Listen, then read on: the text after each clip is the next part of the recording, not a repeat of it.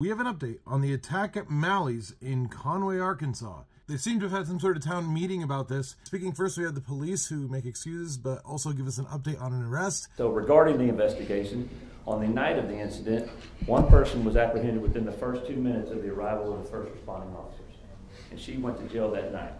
After we started receiving, a few days later, receiving additional videos and everything, an individual was charged with five felony counts related to their involvement in this incident.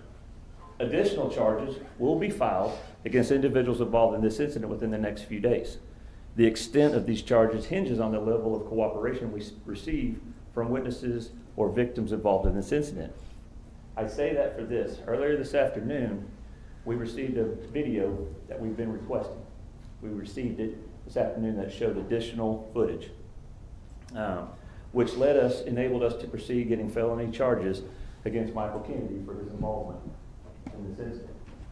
At the start of this meeting, uh, Michael Kennedy turned himself into the police department. He's currently at our police department right now. Um, The last thing I just want to say, I this is an example of when the community and the police department work together, justice can be served in a timely fashion. Hello.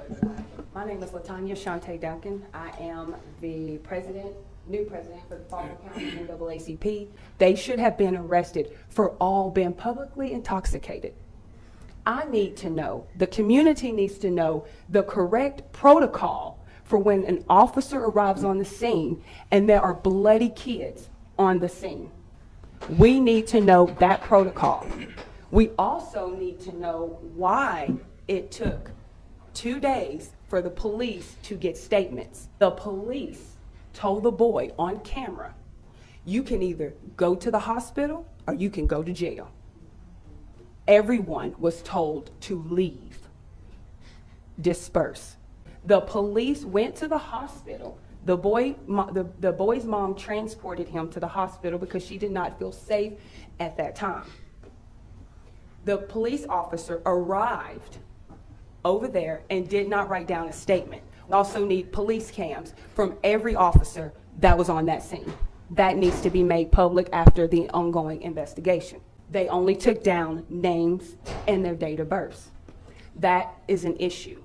Statements need to be made on the scene when everything is fresh on the minds and no one has time to gather extra little information to try to make it what they want to make it. These minors that were brutally attacked by adults that are not even from our city. Let's not minimize what happened to these children by not saying that it was a black or not a black or white issue that happened. This was a hate crime, make no mistake about it. Those children weren't targeted because they were just kids hanging out, they were black kids hanging out. And so I'm sorry to any parents that's here, because that really disturbed me. It was a hate crime that happened to. And yesterday, a city spokesman stated that this is not the culture in Conway. But the truth is, even though these citizens were from Conway, this has been an underlying culture in Conway, not only by the citizens, but also by the police department. The recent incident that occurred was one reminder that a hate crime occurred, but not one person that attacked those children was arrested. And I understand what the chief of police says, oh, well, we have to investigate, we have to do this and do that. But I've seen people that look just like me that have been picked up off the street for less with no evidence, with no proof. And they build a strong enough case to put them behind bars and sit them in jail. So that, that to me is not acceptable. Not one breathalyzer was done when they were clearly intoxicated.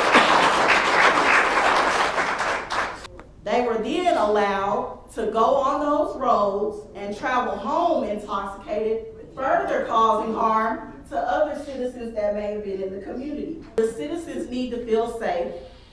The children need to feel protected and given retribution for these heinous crimes that were committed against them.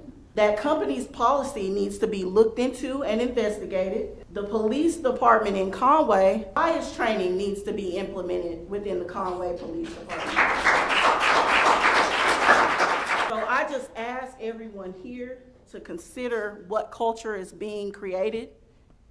And as we keep saying, community, community, community, love, love, love. You can operate in love and speak truth to power. You can operate in love and still hold people accountable. You shouldn't be afraid to hold people accountable